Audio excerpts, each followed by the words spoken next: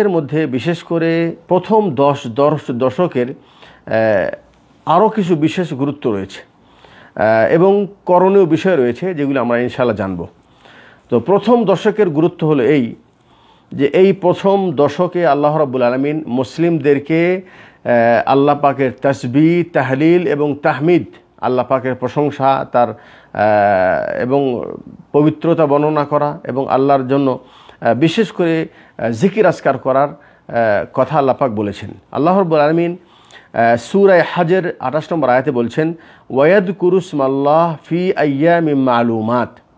মানুষরা যেন আল্লাহর নামে বা আল্লাহর নামে যেন জিকির করে, আল্লাহর নামে যেন স্মরণ করে, ফি আয়ামি মালুমাত। বিশেষ দিনে, মালুমাত মানে বিশেষ কিছু দিনে তারা যেন আল্লাহ পাকের নামকে স্মরণ করে। এবং আল্লাহ রব আলম সুরায় বাকারা বলছেন, ওয়াদকুরুল্লাহ ফি আয়ামি মালুমাত। তোমরা বিশেষ কিছু দিনগুলিতে তোমরা আল্লাহর নামের স্মরণ করো, আল্লাহর জিকির করো তোমরা, আল্লাহর নামে স্মরণ করো। সুরায় বাকারা দুইশো তিন নম্বর আয়াত। তো মুফাসসিরিন ইকরাম রাহিমাল্লাহ ওনারা বলছেন যে এখানে আয়ামি মালুমাত বলতে জিলহজ মাসের প্রথম প্রথম দশ দিন বোঝানো হয়েছে। তার মানে হলেই যে এই প্রথম দশ দিনের বিশেষ গুরুত্ব রয়েছে এবং এই এই দশ দিনে আমাদেরকে বিশেষ করে আল্লাহ পাকের খাস ইবাদত করতে হবে এবং আল্লাহ পাকের নাম আমাদেরকে স্মরণ করতে হবে এবং আল্লাহর নামে জিকির করতে হবে। এবং এই প্রথম দশ রাতের ফজ- ফজিলত হলেই আল্লাহ রব আলমিন সুরে ফজর বলছেন, ওয়াল ফজর ওয়ালা ইয়ালিন আশার। আল্লাহ পাক এই ফজরের কসম খেয়েছেন এবং দশ রাতের কসম কসম খেয়েছেন।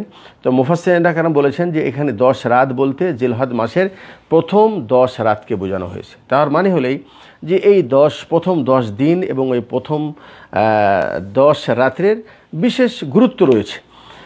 অপর একটি হাদিসে আল্লাহ নবী সালাম বলেছেন, আবদুল্লাহ বিন আব্বাস রাজি আল্লাহ আনহু থেকে বর্ণিত। তিনি বলেন কল রসুল্লাহ সাল্লাহ সাল্লাম মা মিন আয়ামিন আল আমল সালেহ ফিহিন আহাব্বু ইরাল্লাহ তাআলা মিন হাদিহিল আয়ামিল আশার ইবিন আব্বাস রাজি আল্লাহ তাল আনহু থেকে বর্ণিত রসুল্লাহ সাল্লাম বলেছেন যে, নেই কোনো সৎ আমল করা, নেই কোনো দিন যেই দিনের মধ্যে সৎ আমল করা আল্লাহর কাছে বেশি প্রিয় এই দশ দিনের চেয়ে।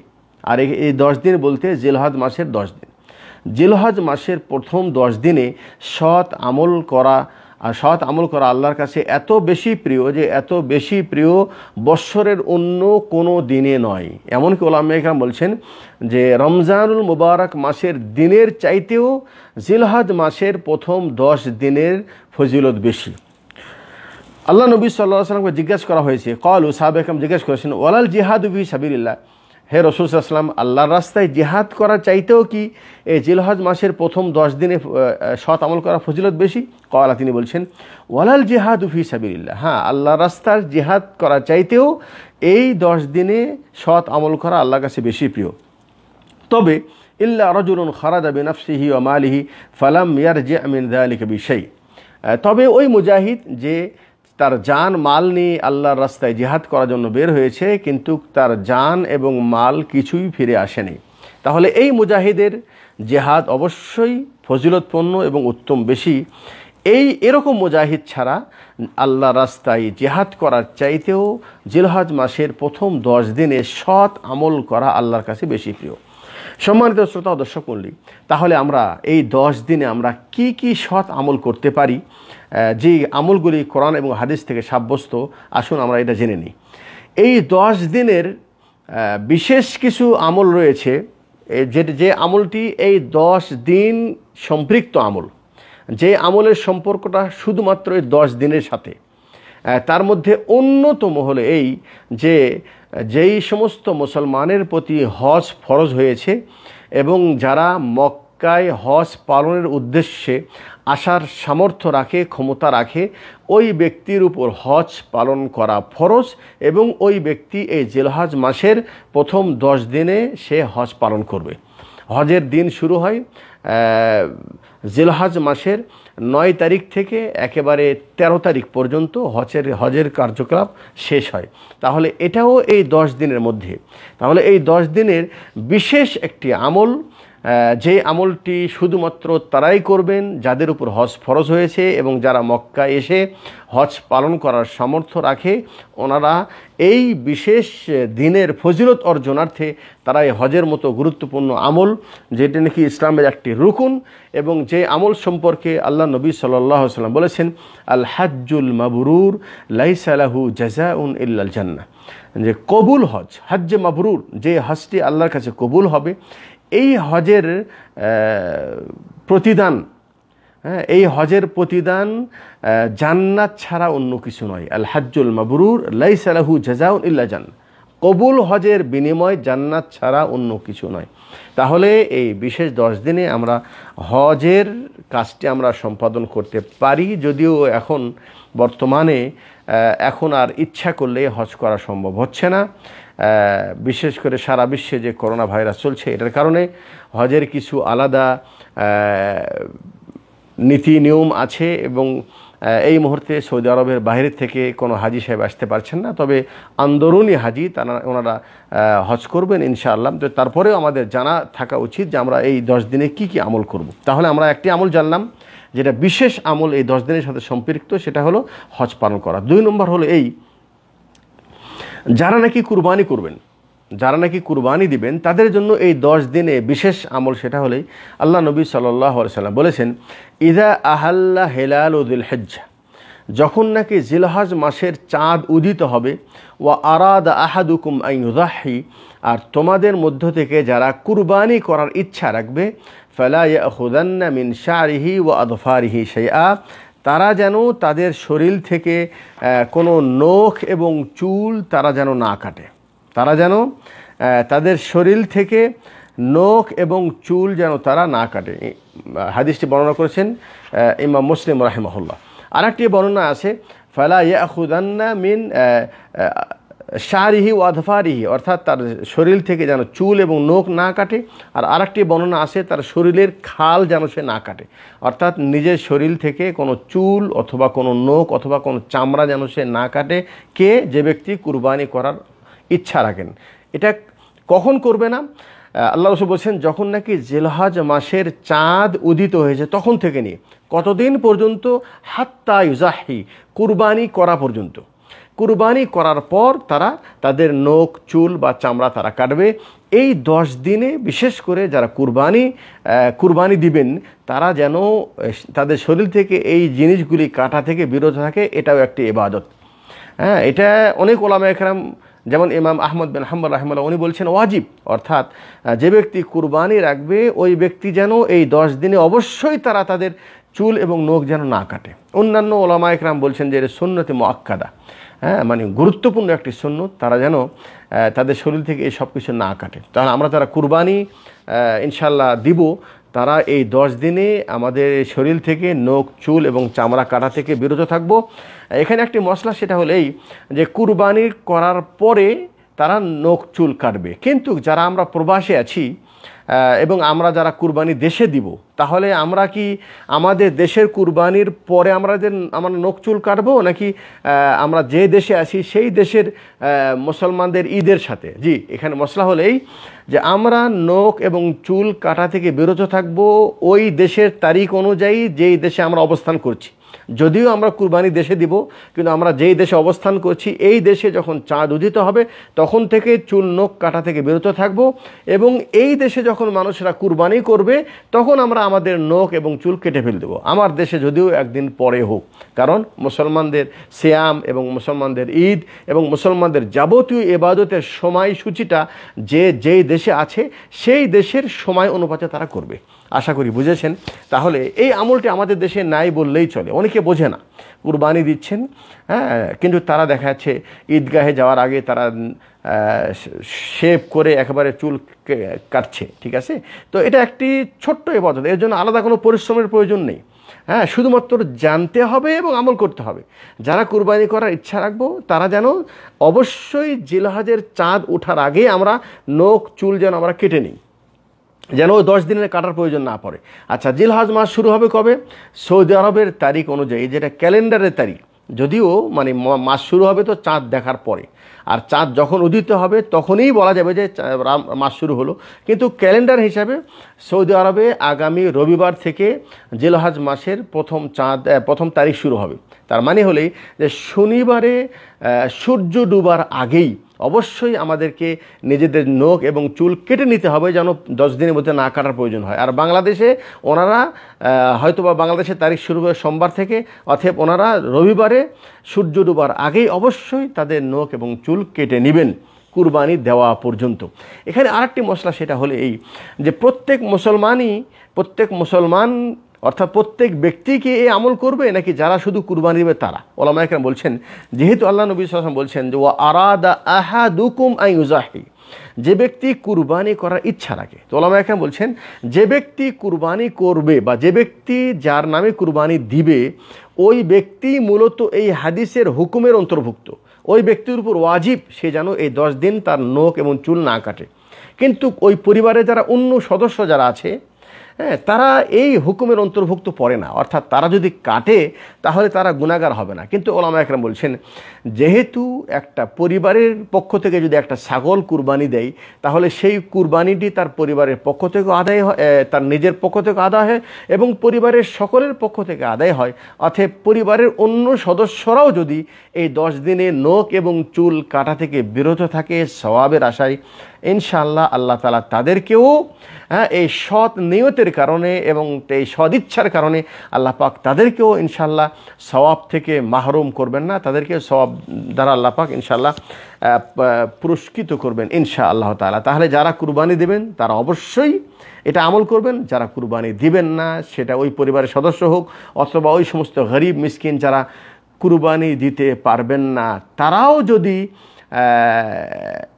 এই আশায় সোয়াবের আশায় তারা তাদের নখ, চুল কাটা থেকে বিরত থাকে এবং দশ তারিখে তারা কাটে, আমি বলব ইনশাল্লাহ আল্লাহ, তাদের নিয়ত অনুযায়ী আল্লাহ পাক তাদেরকেও ইনশাল্লাহ সওয়াব থেকে মাহরুম করবেন না। যদিও এই মর্মে একটি দলিলও পাওয়া যায় ইমাম নেসাইতে দলিলটি বর্ণিত হয়েছে, হাদিসটাকে অনেক হাদিসকে অনেক হাদিসটাকে অনেকে জয়ীফ বলেছেন সেটা হলো যে একজন সাহাবি যখন সে কুরবানির ফজিলতের কথা শুনলো, তখন আল্লাহ নবী সালাম বলছেন, আল্লাহ নবী সালামের কাছে এসে বলছেন, ইয়া রসুল্লাহ যে আমার কাছে তো একটি মানে গাভী আছে বা একটি দুধ দেওয়া পশু আছে, যদি আমি সেটাকে জবাই করি, তাহলে তো আমার দুধ পান করা বন্ধ হয়ে যাবে। তো আল্লাহ নবী সালাম বলছেন যে, তুমি সেটাকে জবাই করো না, বরং তুমি জিলহাজ মাসের প্রথম তারিখ থেকে নিয়ে কুরবানি করা পর্যন্ত নিজের চোল এবং নখ কাটা থেকে তুমি বিরত থাকো। তো এই হাদিস থেকে ওনা ওলামা একরাম বলছেন, যারা কুরবানি দিবেন না, ওনারাও যদি এই আমলের মধ্যে তারা শরিক হয়, ইনশাআল্লাহ আল্লাহ তালা তাদেরকে মাহরুম করবেন না। তাহলে এই দশ দিনের বিশেষ সাথে, এই দশ দিনের সাথে বিশেষ যে কাজ যেটা বললাম যে আমরা এটা করতে পারি। এই দশ দিনের সাথে আরেকটি বিশেষ কাজ রয়েছে। আরেকটি বিশেষ কাজ, সেটা হলো এই ইবনে অমর রাজি আল্লাহ তালাম তিনি বলেন, মা মিন আয়ামিন আজম আল্লাহ সুবহান ওয়া তাআলা ওয়ালা আহাব্বু ইলা ইলাইহি আল আমালু ফিহিন্না মিন হাদিল আয়ামিল আশর। আবদুল্লাহ বিন ওমর রাজি আল্লাহ আনহু থেকে বর্ণিত হাদিসে রসুল ইসলাম বলছেন যে এই জিলহাদ মাসের প্রথম দশ দিনে আমল করা আল্লাহর কাছে সবচেয়ে মহৎ এবং সবচেয়ে বেশি প্রিয়। তাহলে এই দশ দিন আমরা বিশেষ কি নেক আমল করতে পারি? তো সেই আমল সম্পর্কে আল্লাহ বলছেন ফখথিরু ফিহিন্না মিনাত তাহলিল ও তাকবীর ও তাহলিল, তাহমিদ।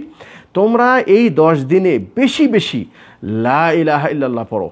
বেশি বেশি আল্লাহর তাকবীর দাও আর বেশি বেশি আল্লাহর প্রশংসা করো। ঠিক আছে? অর্থাৎ তাকবীর দেওয়া। বেশি বেশি তাকবীর দেওয়া। এই দশ দিনের বিশেষ গুরুত্বপূর্ণ সৎ আমল হলো বেশি বেশি তাকবীর দেওয়া। বেশি বেশি তাকবীর দেওয়া। এই তাকবীর দেওয়াটা শুরু হবে কখন? এই তাকবীর দেওয়া হলো, একটা হলো আর তাকবীরুল মোকাই, মতলাক। মানে সাধারণ যে কোনো সময় তাকবীর দিবে। দিন, রাত হ্যাঁ দোকানে, বাহিরে, সালাতের পরে, বাহিরে, যে কোনো সময়, যখনই সুযোগ পাবে, সে তাকবির দিবে।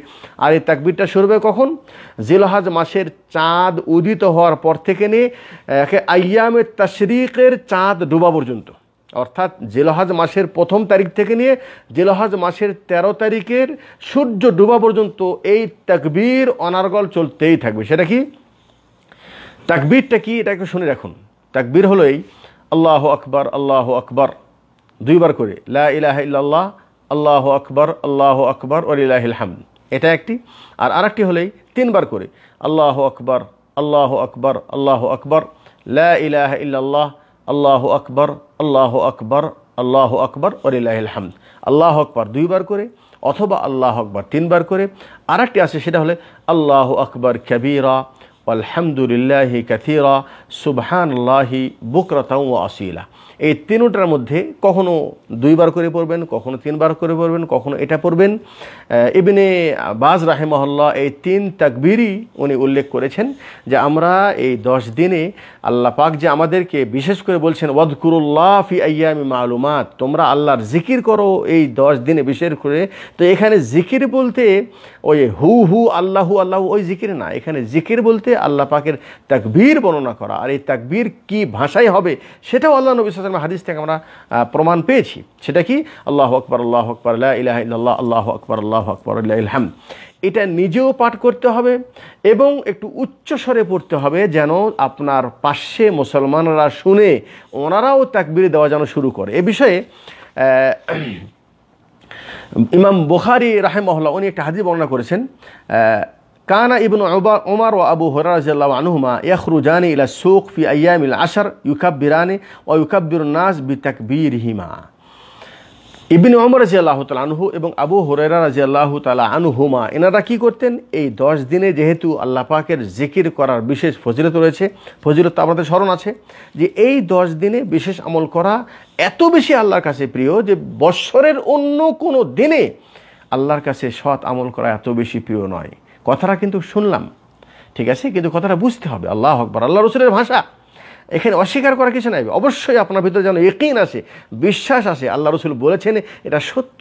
তাহলে এত বেশি ফজিলতপূর্ণ সময় আমরা কি কোনো সময় অনুধাবন করতে পেরেছি? আমরা কোনো সময় কি এটা চিন্তা করেছি? আসলে কি রমজানের জন্য দেখা যাচ্ছে আমরা অনেকে প্রস্তুতি গ্রহণ করি। হ্যাঁ রমজানের ফজিলত আলাদা রয়েছে, সিয়ামের জন্য প্রস্তুতি নিচ্ছি, তারাবের জন্য প্রস্তুতি নিচ্ছি।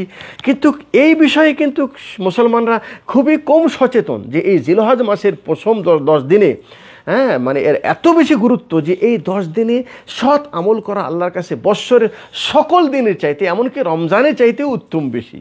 ঠিক আছে না? কিন্তু আপনাদেরকে বলব যে এখানে সৎ আমল বলতে আমি আমার নিজের পক্ষ থেকে সৎ মনে করে কোনো আমল করলে সেটা সৎ হবে না। আমি সৎ মনে করে হ্যাঁ মাদ্রাসা ছাত্রদেরকে দেখে যদি কোরআন খতম করাই, আমি যদি সৎ মনে করে মিলাদ পড়াই, আমি যদি সৎ মনে করে নিজের বানাওয়াটা দরুদ পড়া শুরু করে দেই, সৎ মনে করে যদি বেদেই পন্থায় হ্যাঁ সম্মিলিত কণ্ঠে জিকির করা শুরু করে দিই, তাহলে এটা কিন্তু সৎ নয়। সৎ আমল কাকে বলা হয়? যে আমলটি আল্লাহ পাক করতে বলেছেন, স্বয়ং নবী মোহাম্মদ রসোল্লাহাম তিনি করেছেন সাহাবা একরাম করেছেন। আর এক ভাষায় বলতে পারি, যেটা সেটা হলে যেই আমলটি পবিত্র কোরআন এবং সেই হাদিস থেকে সাব্যস্ত, সেই আমলটা আমরা করব।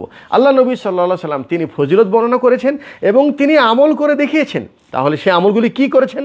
আমি দুটা আমলের কথা কেবল বললাম। একটা হলো হজ সম্পাদন করা, এই দশ দিনের মধ্যে যাদের উপর হজ ফরজ হয়েছে, আর দুই নম্বরে বললাম দুই নম্বরে বলেছি যে নোক এবং চুল কাটা থেকে বিরত থাকা, যারা কুরবানি করেছেন। তিন নম্বরে বললাম যে এই দশ দিনে বেশি বেশি আল্লাহর প্রশংসা করা, আল্লাহর বীর বর্ণনা করা। ঠিক আছে ভাই?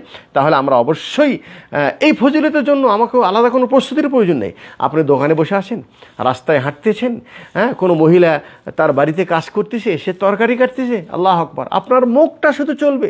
আল্লাহ আকবর আল্লাহ আকবর ইলাহ ইল্লাহ আল্লাহ আকবর আল্লাহ আকবর আল্লাহ হামদ হ্যাঁ বাজারে গিয়েছেন, একটু জোরে জোরে পড়ুন, যেন আপনার এই তকবির শুনে অন্য মুসলমানরা যেন তারাও তকবির শুরু করে দেয়। আপনারা জানেন যে আলহামদুলিল্লাহ সৌদি আরবে বাজারে গেলে এই আবদুল্লাহ বিন অমর এবং আবু হরাজ আনুহুর আমল আমরা একেবারে মানে স্বচ্ছকে আমরা দেখতে পারি। এখানে বড় বড় মোল যেগুলো আছে, বড় বড় মার্কেট আছে, সেখানে স্পিকারের মাধ্যমে এই তাকবিরটা শুনিয়ে দেওয়া হয়, যেন মানুষরা তাকবির শুনে তাকবির দেওয়া শুরু করে দেয়।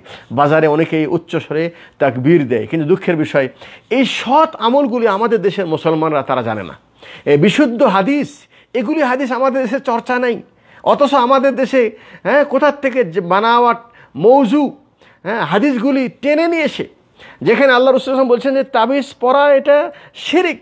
তারপরেও সেই তাবিজটাকে কোনোভাবে হালাল করার জন্য কোথায় কোথায় থেকে সাহাবির কোনো আমল হ্যাঁ যদিও তাদের ব্যাখ্যা ভুল, তাদের বুঝ ভুল, তাদের হাদিরের উপস্থাপন ভুল, কিন্তু তারা যে আমলটাগুলি চলে করে আসতেছে, তারা যে কোনো মূল্যে সে আমলটাকে বলবৎ রাখতে চায়। এই জন্য তারা হ্যাঁ সেগুলি কি, সে হাদিসগুলি জোর করে নিয়ে আসে। আল্লাহ নবী সাল্লাম বলছেন যে কুল্লু মুস্কিরিন হারামুন। প্রত্যেক নেশাযুক্ত জিনিস হারাম। যার মধ্যে নেশা আছে সেটা হারাম। তুমি দেখো তার মধ্যে নেশা আছে কি না এখন আমি যেহেতু জর্দা খাই হ্যাঁ এখন সেই জর্দাকে হারাল করার জন্য যে জর্দা অল্প খালে তখন তো সেটা ইয়া হয় না। কিরাম নেশা আসে না। তাহলে বেশি খেলে তো আঙ্গুরু ফল বেশি খেলেও তো মানুষের শরীর খারাপ হয়ে যায়। দেখছেন কীভাবে? মানে শরীয়তের একটা সঠিক ব্যাখ্যাকে যে কোনো কৌশলে আমার যে আমলটা আমি করে আসতেছি বা আমার সমাজে যে আমলটা চলে আসতেছে, সে আমলের পক্ষে দলিল থাক বা না থাক, অথবা সে আমলটির দলিল জয়ীফ